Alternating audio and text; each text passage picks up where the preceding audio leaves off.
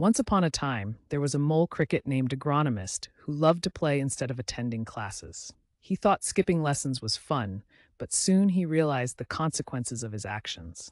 Agronomist struggled in his studies, fell behind his classmates, and felt lost in class.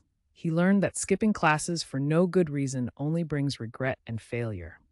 Agronomist decided to change his ways, attended all classes diligently, and worked hard to catch up.